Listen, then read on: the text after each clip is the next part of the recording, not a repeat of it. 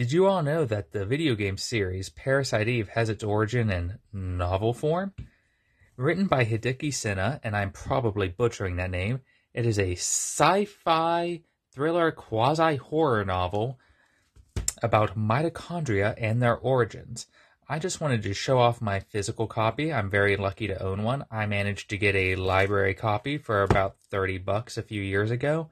Uh, this book can get a little pricey, but it is available on Kindle. I highly recommend it, especially if you're into that sort of bridge between science fiction and horror and just everything that can stem from that. And especially if you're a big fan of the video games like me, it is worth the read.